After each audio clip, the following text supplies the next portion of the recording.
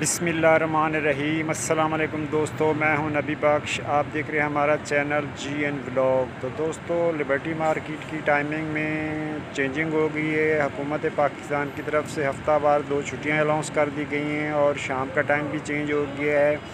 अब हफ़्ते को और इतवार वाले दिन मार्केट बंद होएगी, छुट्टी होएगी और पीर से लेके जुमे तक पाँच दिन मार्केट हफ़्ते में खुलेगी।